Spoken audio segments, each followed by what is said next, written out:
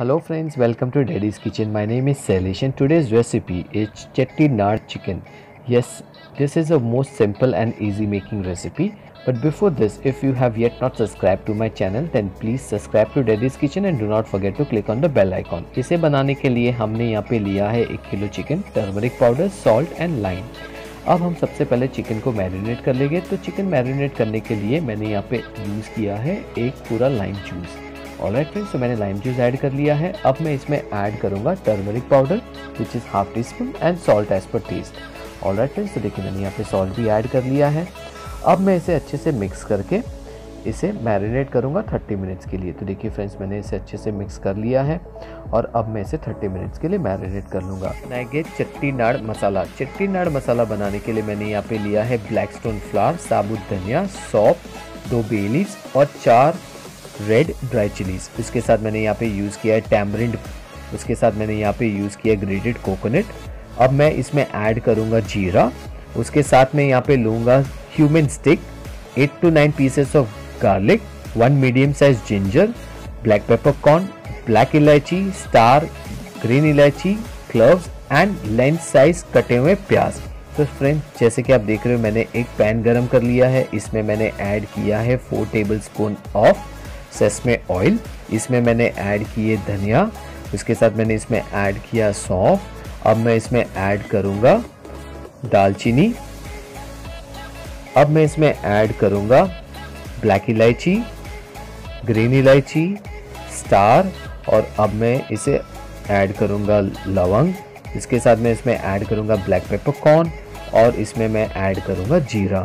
और फ्रेंड्स ये सब मसालों को ऐड करने के बाद मैं इसे सौते कर लूँगा एक मिनट से दो मिनट तक। और फ्रेंड्स तो देखिए मैं इसे अच्छे से सौते करूँगा या मैं इसे कुक करूँगा जब तक कि ये थोड़े कलर चेंज ना कर ले। तो फ्रेंड्स जैसे कि आप देख रहे हो, ये अच्छे से सौते हो चुके हैं। अब it is the time to add two bay leaves तो मैंने इसमें बे लीव्स ऐड कर लिए हैं। इसके साथ मैं इसमें ऐड करूँगा फोर ड्राई रेड चिलीज इसके अलावा मैं इसे ऐड करूँगा ब्लैक स्टोन फ्लावर इसे मिक्स कर लूँगा, इसे भी एक सेकेंड तक सौते कर लूँगा और अब मैं इसमें ऐड करूँगा eight to nine pieces of garlic तो फ्रेंड्स देखिए मैंने इसमें eight to nine pieces of garlic भी ऐड कर लिए हैं। इसे भी मैं अच्छे से सौते करके कुक कर लूँगा फॉर नियर अबाउट वन और टू सेकेंड्स और अब मैं गैस का फ्लेम बंद करके इसे मैं ट्रांसफ़र कर लूँगा एक प्लेट के ऊपर। राइट फ्रेंड्स तो देखिए, मैंने इसे ट्रांसफ़र कर लिया है और इसी पैन में मैं अभी ग्रेटेड कोकोनट ऐड करके इसे मैं कुक करूँगा जब तक कि ये डार्क गोल्डन ब्राउन कलर के ना हो जाए। राइट फ्रेंड्स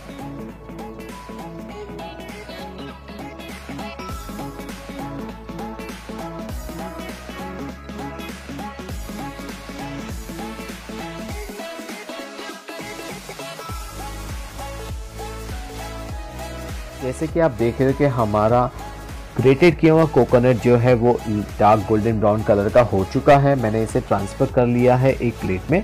अब इस मसालों को मैं ट्रांसफ़र करूँगा एक मिक्सी जार में और अब इसका मैं मिक्सी जार में ट्रांसफ़र करने के बाद इसमें मैं ऐड करूँगा टैमरिंड और वन मीडियम साइज़ जिंजर और इसमें मैं ऐड करूँगा पानी which is just a little bit of water और मैं इसका फाइन पेस्ट बना लूँगा। देखिए फ्रेंड्स इसका काफ़ी बढ़िया पेस्ट मैंने रेडी कर लिया है।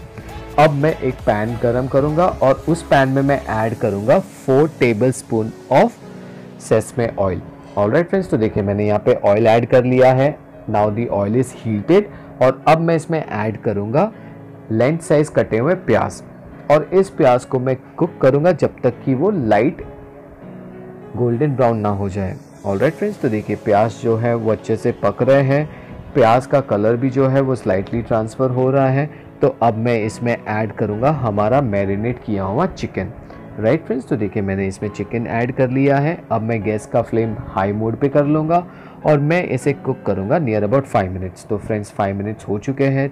Chicken is getting cook now it is the time to add the masala तो मैंने जो चाटी नाड़ मसाला बनाया था, वो मैंने इसमें ऐड कर लिया है।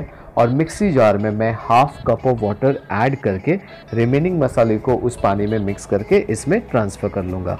ऑल राइट फ्रेंड्स तो ये मैंने कर लिया है। अब मैं इस मसालों को अच्छे से चिकन के साथ मिक्स करके इसमें सॉल्ट ऐड करूँगा एज़ पर टेस्ट और पैन का लीड जो है वो क्लोज करके इसे मैं कुक करूँगा नियर अबाउट 20 मिनट्स तक। ऑल राइट फ्रेंड्स तो देखिए, मैंने पैन का लीड क्लोज कर लिया है। अब मैं इसे 20 मिनट तक कुक करूँगा। फ्रेंड जैसे कि आप देख रहे हो 20 मिनट्स हो चुके हैं। हमारा चिकन जो है, वो अच्छे से पक चुका है। इसे और रिच टेस्ट देने के लिए मैंने यहाँ पे लिया है एक तड़का पैन अब मैं इसमें ऐड करूँगा दो tablespoon of sesame oil और इसे गर्म करने के बाद मैं इसमें ऐड करूँगा करी लीव्स राइट फ्रेंड्स तो हमारा ऑयल गर्म हो चुका है। अब मैंने इसमें ऐड कर लिए है करी लीव्स और अब इस करी लीव्स को ऐड करने के बाद मैं इसमें ऐड करूँगा फेनुग्रिक सीड्स मेथी दाने।